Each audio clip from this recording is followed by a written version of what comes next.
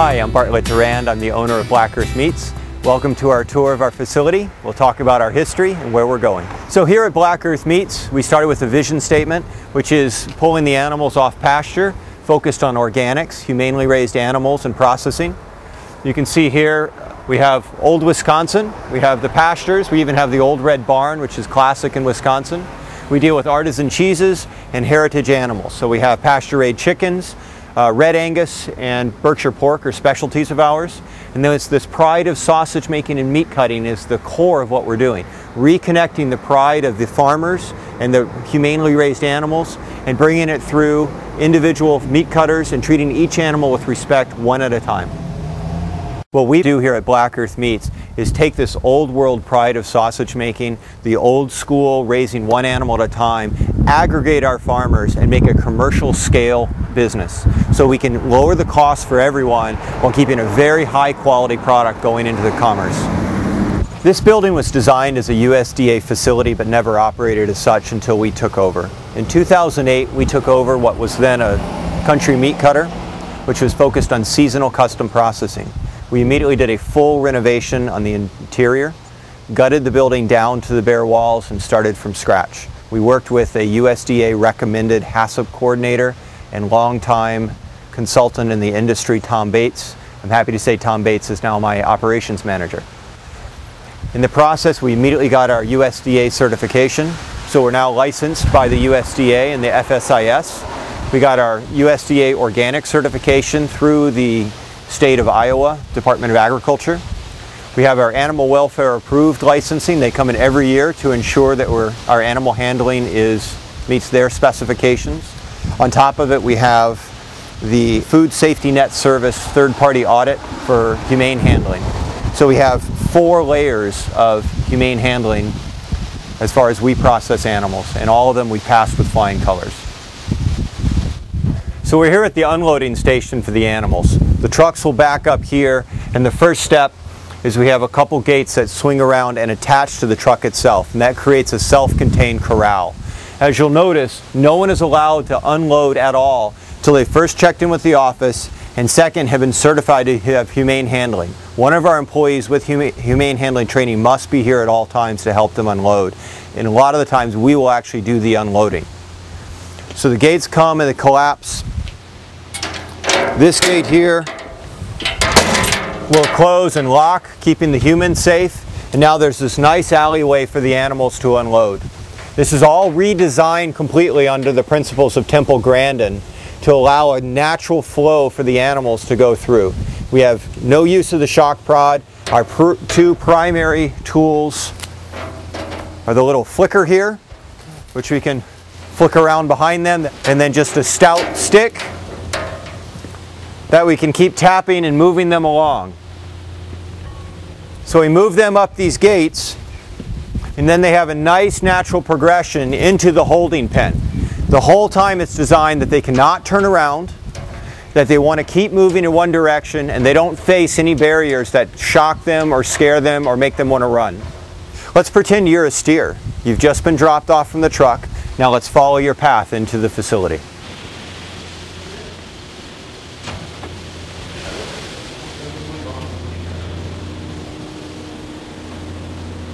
Now that we're on the inside, I'm going to pass the tour off to Tom Bates, the operations manager. So Tom, uh, take us through our holding pens. All right. Um, holding pen design is very simple. It holds 15 to 20 animals based upon size. We use a lot of chutes and gate systems to segregate and handle the cattle. We have a safe zone that I'm standing in right now to keep our people and personnel from getting injured or hurt by the cattle. And it all kind of speaks for itself. Um, as you can see, most of these most of these panels are all collapsible, movable, so we can get to, get away from cattle, move cattle any which way we want to. And it's designed to hold either hogs or or beef, one one species at a time. First step in the slaughter operation is the knocking pen knock box. And in our knocking pen design, we've also incorporated a head restrainer that the animal's in and when you're going to knock it you've got it secured so you have no misses we hit 100 per 100 we do some security knocks but basically we've passed all humane handling by USDA third-party audits. Our system works and it is a good one.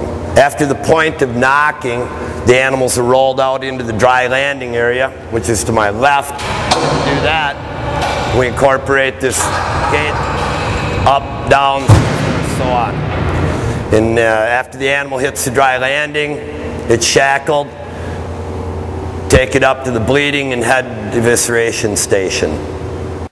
Step two in the process, we're not an on-the-rail system, we're a skinning bed. So the animals are lowered from the bleeding head removal onto the skinning bed.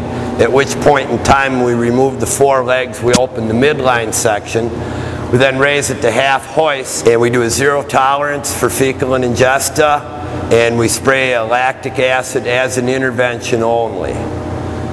With that being said, and that station being done, the animals then move to the evisceration station, which is here to my right. Inspector watches the evisceration for contamination, inspects the viscera, inspects all the organs, and says this animal is okay to go farther in our process. And when we have that okay, the animal is then lowered onto the rail. We use a down puller to lessen contamination for airborne hair, dust, uh, manure, whatever you can, whatever's on the outside of a hide, we get rid of it. By using the down puller, it lessens, it just lessens its exposure. Once we've got the hide pulled off, we do a hot water wash on that carcass, which I've already said that we put on lactic acid and a zero tolerance over here. We've killed a lot of pathogens, we've wounded a lot of pathogens, and by using a hot water wash here, we'll kill and reduce and eliminate even more. And as an example, we'll start out on the skinning bed with a green carcass before any trim of a total plate counts of maybe seven to 800,000. By the time we get it to this point and do another plate count after the hot water wash, we've reduced to usually less than 60,000, if not lower, but always less than 60,000. After the hide's been removed, we split the animal and it goes down the final trim zero tolerance rail where we remove the spinal cord as part of our SRM removals. We re-inspect and trim the carcass for zero tolerance and then we put it on the hot, the hot scale, weigh it, record tag numbers, hot weight, so forth, so on, owner, identity, and it goes to a cold water wash.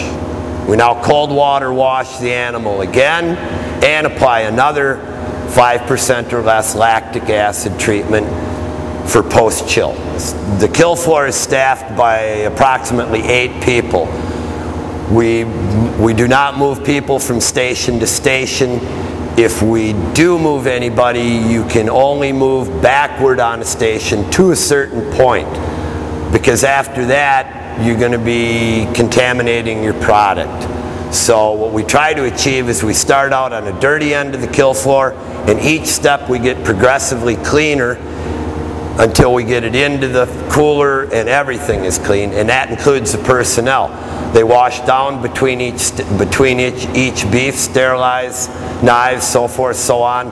And even if they're totally washed down, they're looking good, it doesn't matter. People working on a skinning bed that are exposed to hides are not allowed to step forward to an evisceration station where that apron can touch an exposed carcass and you have a lot of unforeseen pathogens that you don't kill with just rinsing with 180 water. So we just don't do that. You can fall back to a dirty station, but you can't step forward to a cleaner station. By proper staffing on this kill floor, we can achieve a beef every six minutes. Our own protocols, our own procedures limit us to one beef every six minutes.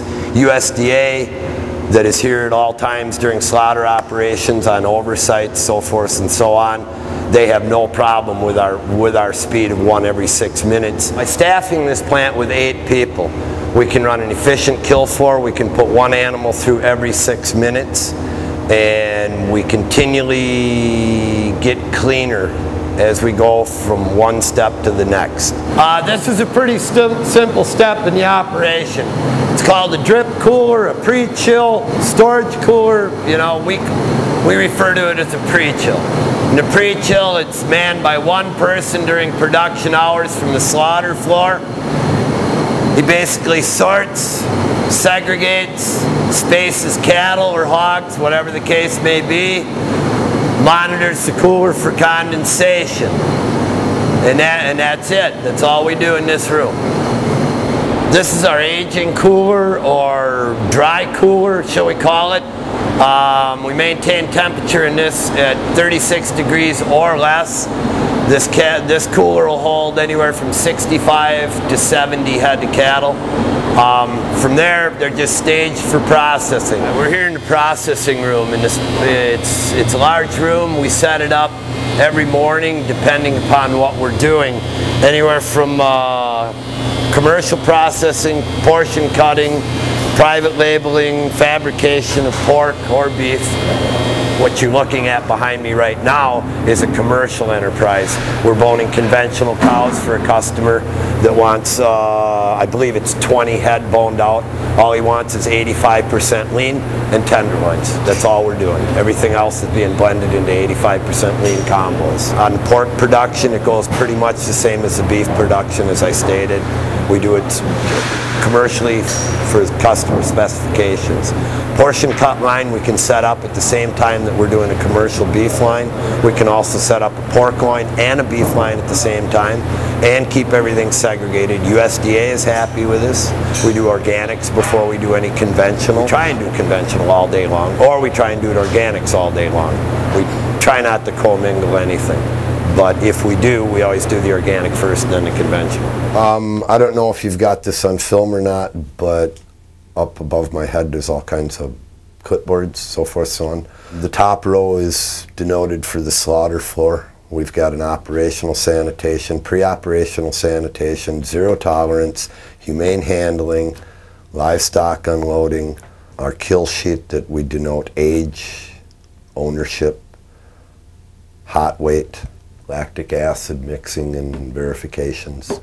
And all those daily clipboards, everyone goes to a different station, everybody has a different job, everybody's responsible for it, and then we verify. Everything we do gets verified once a day by the floor supervisor, which in most cases is me. That being said, uh, there's also a lot of other records that we post. USDA wants it, wants something. They do weekly record reviews. They want to see daily production sheets. They want to see pre-operational sanitations. We're a small plant. We're always busy. Therefore, everything we keep exposed for the day, for the week, for the month, possibly up to six months. So any inspector can say, I want to see this. They don't even have to ask me. They can just walk in my office. They can look at a clipboard. They can find what they need. They can take it down. They can review it. I only ask that they put it back where they found it and don't take it out of the office. They're very good about that, by the way. But this is basically where it starts every morning with record reviews and sanitation reports going up, new and empties, and then the people come grab the form that they need and take it and do it and bring it back. So it's pretty simple. It's just real simple. Here at Black Earth Meats, what our focus has been and what we've accomplished is scaling up our entire operation.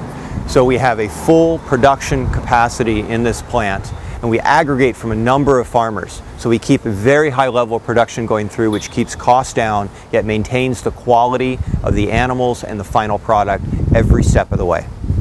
Thank you for coming on this tour with us. You can visit us online at www.blackearthmeats.com. Obviously we'd love to have any of you come and visit us right here in the heart of Black Earth, which is just west of Madison. It took us a full year to renovate the plant and get our systems up and running. It took us another year to train and get the standard operating procedures established. We now have an incredible crew working for us. Uh, we're very efficient and we're ready for doing commercial business. We hope you consider us. Thank you very much.